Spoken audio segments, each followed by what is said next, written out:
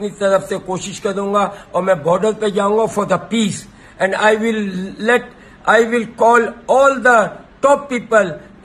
sportsman everyone and میں جا کے ادھر بالکل ہے نا جا کے احتجاج کروں گا اور بتاؤں گا کہ ایک پیس کیا چیز ہوتی تو ہم پیس کا جھنڈا لے کے بھی میں اگر یہ چیزیں نہیں رکی تو میں بارڈر پہ دنیا سے جو بھی مجھے جوائن کرے گا، میں ضرور جاؤں گا اور میں جا کے وہاں پر ہے نا یہ چیزیں بتاؤں گا کہ دیکھیں، ہم لوگ پیس چاہتے ہیں، ہم کشمیریوں کے ساتھ ہیں، بالکل رہیں گے، ان سے ہمیں کوئی الگ نہیں کر سکتا، پاکستان کو نہیں کر سکتا، نہ مسلمانوں کو کر سکتا، تو یہ چیزیں بڑھتی جائیں گی۔ تو میرا ایک میسج میں نے جو پہلے دیا تھا، وہ یہی تھا کہ دیکھیں، یہ چیزیں نہیں ہوں۔ اور دوسرا میرا میسج میں یہ آپ بھی دے رہا ہوں، وہ یہی ہے کہ I will take all the sports person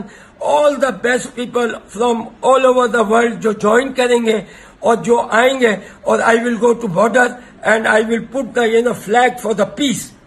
اور میں یہ بتاؤں گا تاکہ وہاں بھی سولجر جو ہوں گے بارڈروں پہ ہوں گے، ان کو بھی دیکھنا ہوگا کہ ہاں کہ ہم پیسفل لوگ ہیں۔ میں چاہتا ہوں کہ انڈیا اور پاکستان پیسفلی ہر چیز ختم کرے اور جس چیز کا جو حق ہے اس کو حق دیا جائے اور ان کو بھی آزاد دیا جائے، یہ چالیس سال سے لڑ رہے بیچارے تو کیا فرق پڑتا ہے؟ بھائی پاکستان بھی بنا، ہر دنیا میں بنتی ہے اور یہ چیزیں یہ ختم نہیں ہوئیں گی۔ یہ دنیا میں یہ چیزیں ہوتی رہیں گی۔ اور ہوتی ہیں تو اس کو سب اپنے دماغ سے سوچنا ہے کہ آیا یہ چیز صحیح ہے یا نہیں ہے۔ مگر جہاں آپ زیادتی کرو گے تو اس طرح کی چیزیں جنم لیں گی۔ اگر آپ زیادتی نہیں کرو گے تو یہ چیزیں جنم نہیں لیتی ہیں۔ اس کا مطلب کشمیر میں اتنے ظلم ہوتے رہے کہ آج وہ اپنی لائف کے اوپر کھیلنے پہ آ گئے۔ تو آپ کو، ہم لوگوں کو، دنیا کو یہ سوچنا پڑے گا اور اس کا حل نکالنا پڑے گا۔ تو ہر آدمی چاہتا ہے peace all over the world even the America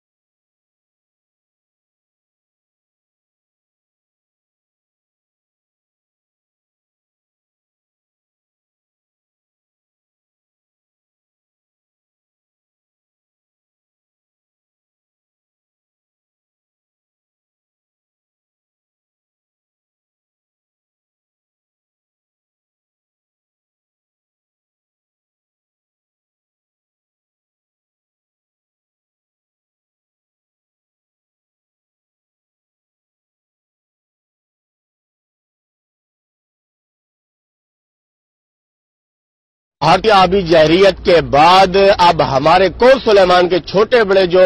برساتی نالے ہیں، ان کو بھی اب تغیانی آگے کہ بھارت نے پاکستان میں پانی چھوڑا، جس سے جو پاکستان کے لوگوں کو مشکلات کا سامنا کرنا پڑا۔ مگر سخی سور کا برساتی نالا بھی